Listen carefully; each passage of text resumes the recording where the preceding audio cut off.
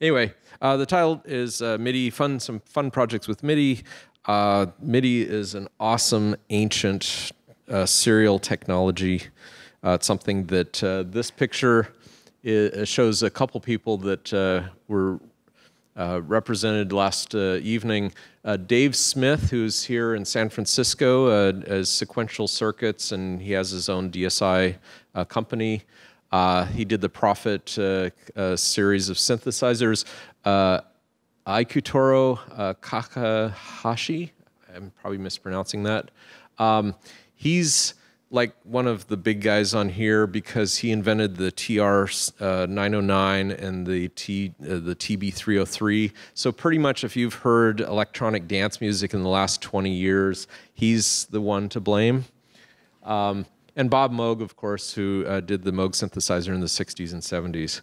Uh, the, the, guy in the end is Tom, o Tom Oberheim, another analog synth god.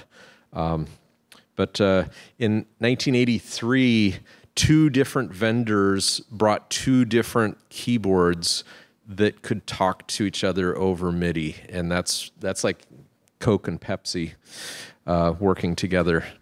Uh, anyway, it's something that that's a Jupiter 6 and a Prophet 600. Uh, again, this is uh, beginning of 1983. So this is MIDI. Uh, it's both a cable protocol as well as a, uh, a, communications protocol. Very easy, note on, note off. This is not for audio, this is for music events. So like controllers and changing patches and playing notes. So uh, this is a Mini Moog. Um, it's something that uh, you can get them used now for anywhere from three to six thousand bucks, or you can go out and get a Behringer Model D, which is the exact same circuitry for three hundred dollars.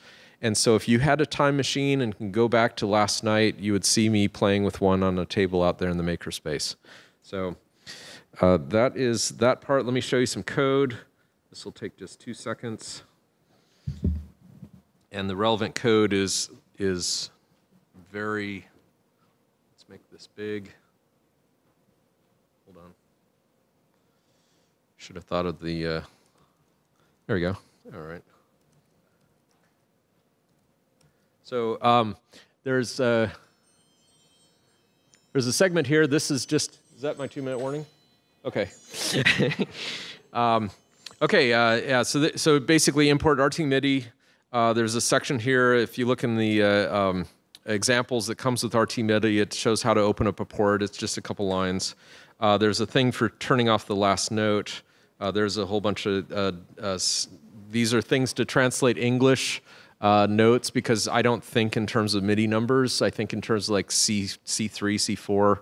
Um, and so that's just a little lookup table. And then there's two lines of Python down here, note on and note off and and the rest is just how much time to keep them on. So just a few lines of code and you can do the on the run music from Pink Floyd. So anyway, it's a lot of fun. Uh, so I wanted to say is three words with some extra words in between. Um, uh, Python and uh, MIDI is very easy. The Mini Moog from Behringer is very cheap, and putting them together is very fun. So, thank you.